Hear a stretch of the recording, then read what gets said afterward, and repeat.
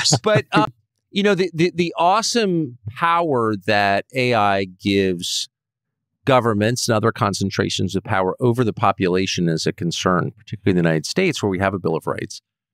And it seems to me it would be important, and I never hear it raised, to put in some guardrails to protect the average powerless person against surveillance or having his rights taken away in effect. or- 100%. It's just too easy to extract compliance from people with technology this powerful. There's a lot of disruption because of the elimination of jobs, particularly low end jobs, but not only low end jobs like lawyers and stuff, the, the true revolutionaries in any society. And then the technology itself is used to keep the population under control through repression. Like, I don't think that's a crazy Yeah. scenario at all. That is the big, Yeah, big So I think Tucker is right that there is a real risk that AI is used by future governments or the deep state basically to surveil us, to censor us, and even potentially to brainwash us because it is really good for that.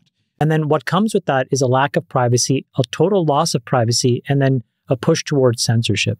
So as these AIs become more powerful, we have to marry it with a set of technologies that can preserve privacy and preserve access to monetary resources.